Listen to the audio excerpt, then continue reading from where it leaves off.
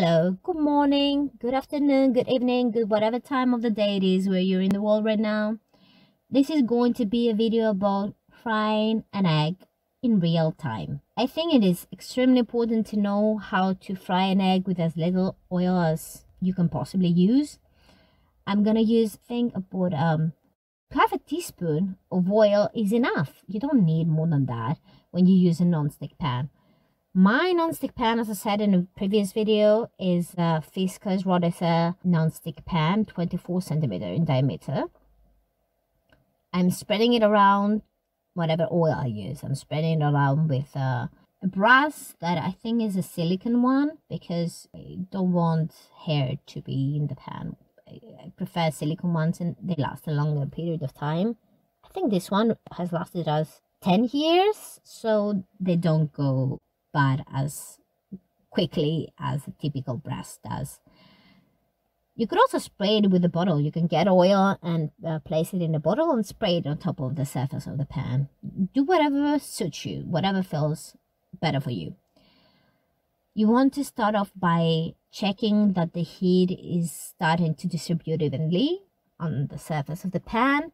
You will feel it by positioning your hand on top of the pan. You don't want to place your hand too closely to the surface of the pan because obviously you don't want to uh, have the extra risk of you burning your hand. You want to make sure it's hot, but you don't want to bury yourself. So about 10 centimeters above the surface of the pan, you can just place your hand and make sure that it is hot. You don't want to place something on top of a pan when it's not hot because um, it will not cook evenly if the pan is already heated across its surface, then you will add something. That's one of the reasons why oil helps in certain cases because it helps the heat distribute better. Obviously, you want to use a lower heat, uh, low to medium, never too high with the non-stick pans because that damages them and it doesn't cook the food properly.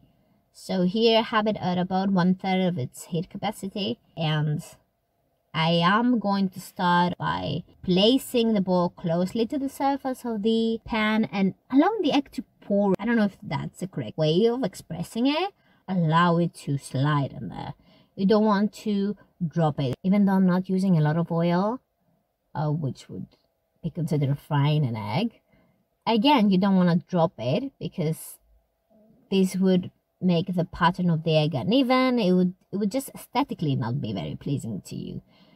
I am going to cover it with a lid because I did not use enough oil for it to be considered frying the egg. This process is just um, allowing it to slowly cook. So when you just remove the lid, as I explained in the previous video, and there is burning oil, the steam created in the pan will turn into droplets of water and that could easily burn you when you raise the lid and the droplets of water spread on the surface of the pan. Because fried oil wasn't there, oh my goodness, that um that would be catastrophic for you. You just allow it to chill, relax. You see, it takes about four minutes the entire process of me preparing the the egg just allow it to steam in there. The steam itself allows the, the egg to detach from the surface of the pan. I am going to check it again in a minute because I want to make sure it's not overcooked. A lot of people like the yolk to be runny. I am one of those people. I like the, the yolk to be soft and runny. I don't like it to be cooked thoroughly. But again, you do you you will see it when uh, the yolk changes color. I personally like it runny. You see the steam created on top of the lid. So when you raise it, if you had the lid vertically leaning on top of the pan, that would create droplets of water that would fall in the pan. That's exactly what you don't want to do when you fry it. Again, here I'm not frying it. I'm just in a, in a way steaming it on a non-stick pan. You see all these tiny droplets of water that are starting to evaporate from the surface of the of the lid. You can see them, they're visible at this point on the left. Whilst I remove it, you see I'm taking it horizontally. I did not place it vertically. I can demonstrate how this would be different if I had the lid vertically placed on top of the of the pan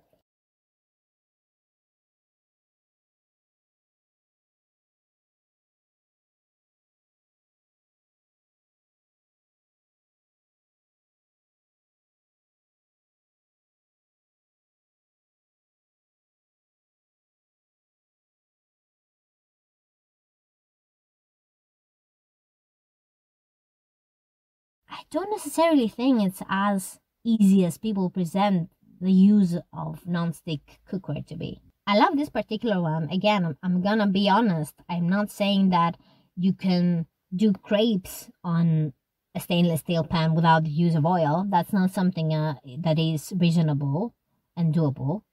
I'm saying that you can try to use it as rarely as possible and have it be okay and be useful in the kitchen for a longer period of time. So if you were to do crepes or uh, do pancakes, for example, in a pan, I would use a non-stick. If that's a once in a week occurrence, then obviously you can use a non-stick pan. But if you're doing eggs every single day, even some people doing it a couple of times a day, you have to find a more sustainable way of cooking them and preparing them. Otherwise, honestly, you're just gonna be throwing away pans every couple of years, even if you're very careful with them. And I don't think this is ethical. It is wasteful to buy something every year or so when you can just buy a stainless steel pan and use it for 10, 15, sometimes 20 years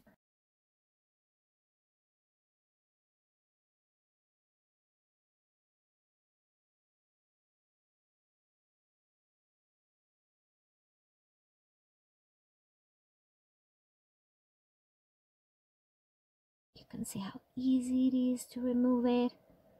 Just with a drop of oil, honestly, which will not change the caloric intake that much. It, it's not worse for you health-wise to just add a drop of oil. It's bad if you fry something, uh, which again has to do with the saturated fat. But here it's just a drop of oil no problem, honestly. And I just wanted to say that for somebody who is unexperienced with cooking, you want to get bigger size spatula than I, I did in the video because it will allow you to have a, a bigger surface uh, that you would grab the egg with. And you want to have something that you well you would use to resist the egg sliding on the surface while you raise it. So you see me here using a, a teaspoon that um is an easy way for you to do it but again if you're a complete beginner you can also just uh, follow this tip which is you want to raise the pan towards you. So you want to incline it raising the pan upwards and that will allow it to slide towards the spatula without you having to use multiple utensils. If you're somebody who has no idea about cooking uh, i think this is an easier way for you to try grabbing an egg for the first time. There are spatulas like uh, this one i'm using here the metal one uh, if you don't have silicone spatula, you can use anything that is silicone or plastic uh, in your kitchen. Again, not plastic utensils, a cook appropriate one.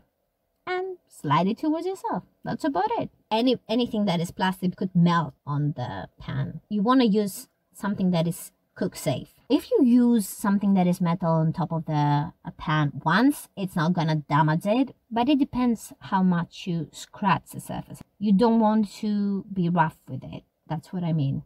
You want to be really, really gentle with non-stick pans. Which is again the reason why I don't think they're very easy to handle as people present them to be. You need to be very, very careful of the way you cook on them, the way you clean them, the way you store them in order for them to not get damaged So yeah, that was about it. This is an egg that I consider perfectly cooked. Until next time, bye.